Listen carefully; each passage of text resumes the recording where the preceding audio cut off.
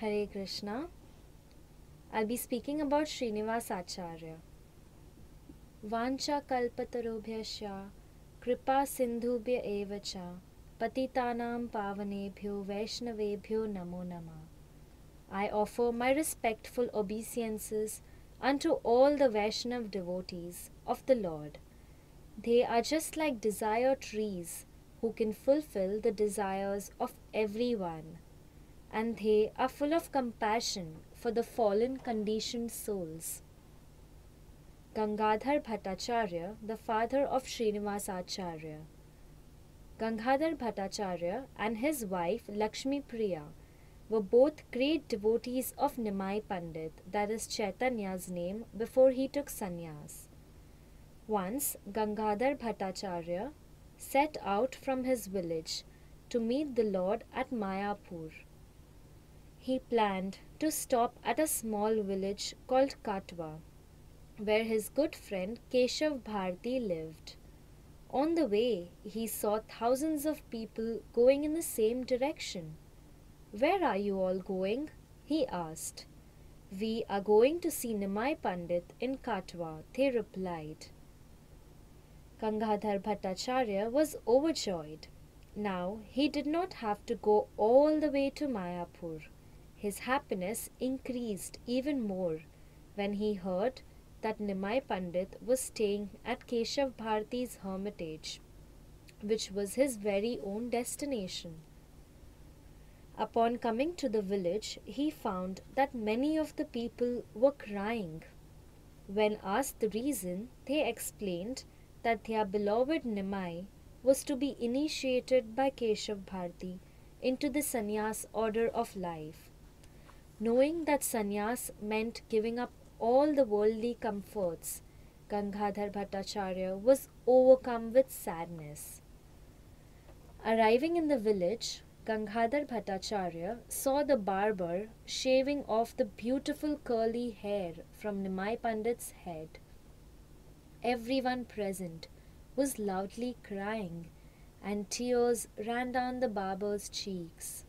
When the job was done, he cast the razor to the ground and vowed, I will never shave anybody's head again.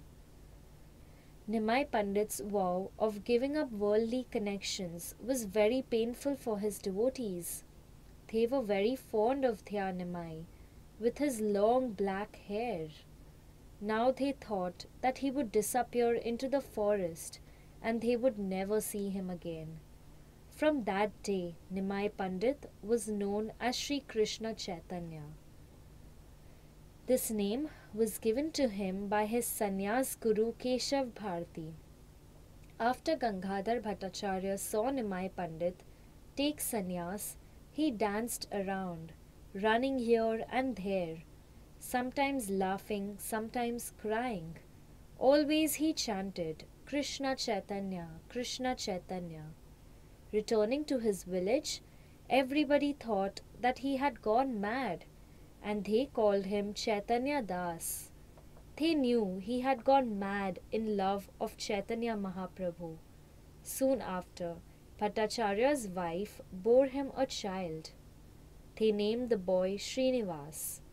He was a beautiful child, and like Radharani, his skin was the color of molten gold. He had all the symptoms of a Mahapurush, a great personality. His chest was broad and his arms reached to his knees. It is said that he was the embodiment of the energy of Lord Chaitanya, the incarnation of Gaura Shakti. He was raised very attentively by his loving parents. All the time he was told stories about the Lord and as he grew, his only interest was to meet him. Srinivas' father died when he was still very young, but when he was around 14 years old, he received permission from his mother to meet Lord Chaitanya at Jagannath Puri. On the way, he met some Brahmins coming from Jagannath Puri. Taking the opportunity, he asked one of them, how is Lord Chaitanya? the Brahmin, his eyes full of sorrow, broke the terrible news. The Lord has passed from this mortal world. So shocked was Srinivas that he immediately fainted. The Brahmins could understand that he was a great devotee of the Lord, so they treated him with great care and respect. Upon waking, Srinivas thought that since the Lord was now gone, he would never be able to fulfill his greatest desire, which was to see him. He thought it useless to live any longer. He wanted to die.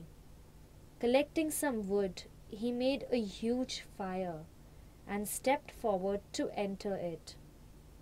At that very moment, Chaitanya Mahaprabhu and Nityanand Prabhu appeared to him in a vision and stopped him. They assured the boy, Do not worry, because we will be with you, even though we are no longer visible to ordinary eyes. Furthermore, all the devotees in Jagannath Puri are waiting for you. Go there and take their guidance. Srinivas's desire to see the Lord was now fulfilled.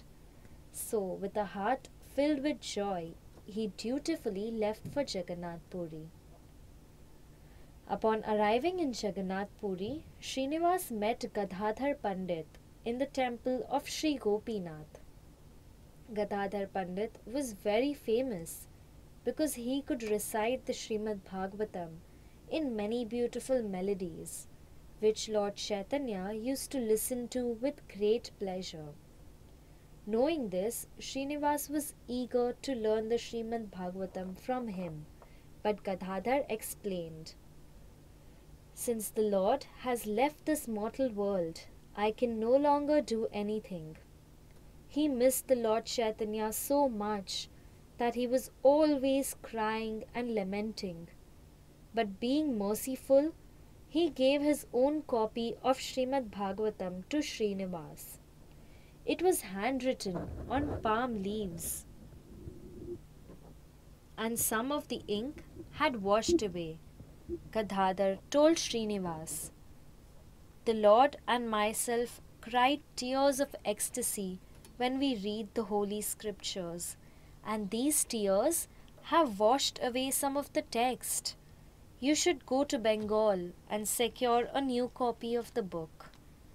Before Srinivas left, he met many of the Lord's associates who were still living in Jagannath Puri. They were all very kind and blessed the boy. Srinivas hurried to Bengal to pick up the Srimad Bhagavatam. He hastened back to Jagannath Puri.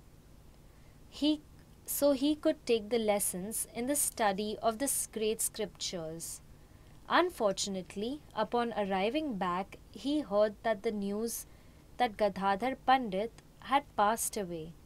But being merciful, he gave his own copy of Srimad Bhagavatam to Srinivas. Srinivas was devastated but realized that the Gadadhar Pandit had sent him away on purpose. Gadadhar Pandit knew that he would soon leave this world and it would have been too much for his heart to bear if Srinivas, whom he loved so dearly, was with him at that time. Soon after this, Gadadhar, appearing in a vision, told Srinivas, Do not fear, I will always be there with you. It is the Lord's desire that you go to Vrindavan to study under Srila Rup Goswami and Srila Sanatan Goswami. They are waiting for you, and the Lord has personally instructed them to train you. Gadadhar urged him to hurry because time was short.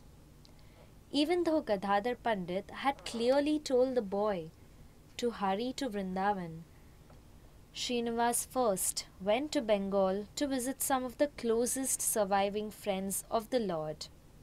Happy to meet him, they all bestowed their blessings. He then hurried on to Vrindavan but arrived too late.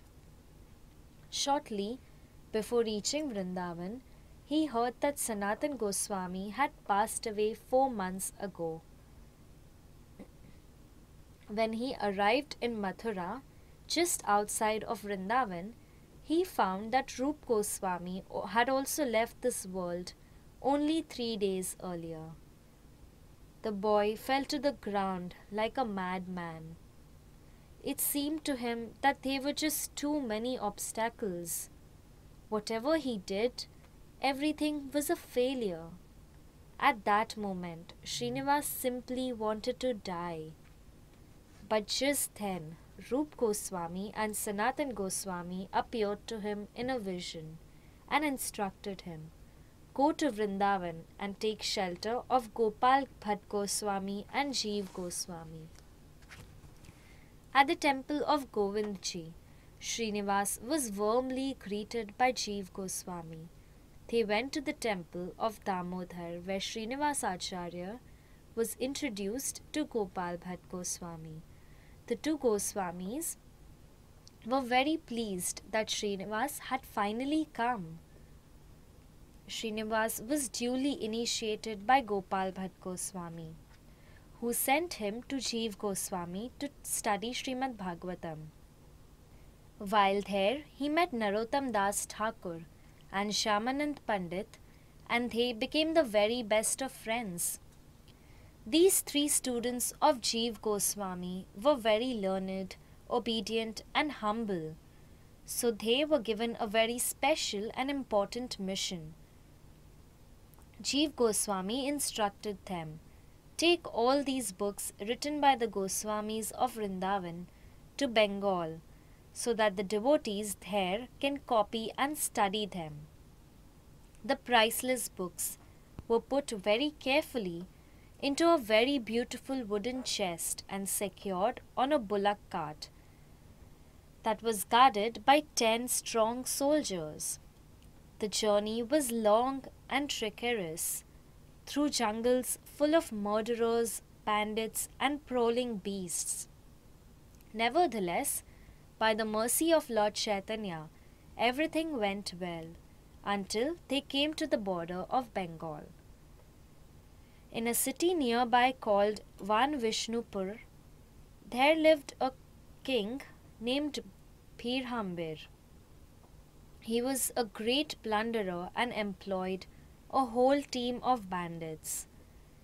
He also regularly consulted an expert astrologer who could calculate how much money travelers carried. When the astrologer had done his calculations, the king would order his bandits to go and rob the more wealthy travelers. In this way, King Birhambir enjoyed a life or luxury. As Srinivas and his companions entered the kingdom, the royal astrologer concluded that they were carrying wealth so priceless that it could not be calculated in any material way. King Birhambir was overjoyed at the prospects, thinking that with such vast riches his pleasure would expand unlimitedly. The king ordered his most stealthy robbers. Go there tonight, and when the travelers are fast asleep, steal away their priceless wealth. They did as was told. When the thieves successfully returned to the palace carrying the beautiful wooden box, the king could hardly wait to open it. But seeing it only full of books, the king was very disappointed. He had eagerly expected to find gold, jewels, and precious stones, not just books. But when King Birhambir touched the books and looked at the beautiful handwriting of Rup Goswami, he became very thoughtful. He understood that the books were very special and that by stealing them he had made a great mistake. Meanwhile, when the great minded devotees woke up, they discovered to their horror that the books were all missing. Srinivas cried out, Where are the books? Who has stolen them? Oh no! What are we going to do? We have been entrusted with all the priceless books written by Goswamis of Vrindavan. and have failed to protect them properly. After frantically searching, Srinivas begged his companions, Shyamanand, Narottam, please go to Bengal and Orissa and preach the message of Chaitanya Mahaprabhu while I continue the search myself. My dear friends, I am the eldest amongst us. Therefore, it is my personal responsibility to find the books. In the days that followed, Srinivas stayed at the house of a Brahmin called Krishna Balabha. They became good friends, and Srinivas told him about the missing books. Krishna revealed, It is possible that the king has been involved in the theft. Since you cannot go directly and ask him, here is a better plan. Krishna Balabha explained.